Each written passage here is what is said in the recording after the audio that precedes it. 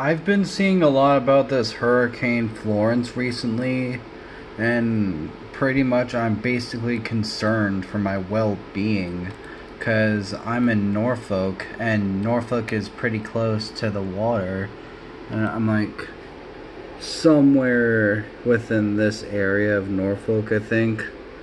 And pretty much, if it keeps curving like this is, like, hold on, that was too close, but like, there's like a curve thing going on, and then a huge area.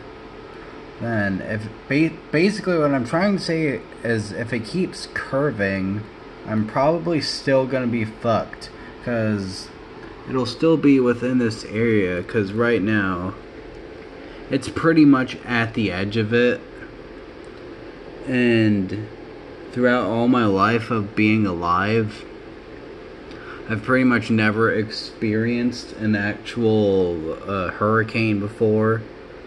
And it's level 3.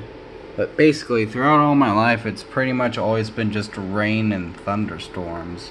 So this is gonna be a really fucking fun week to experience it, I can tell.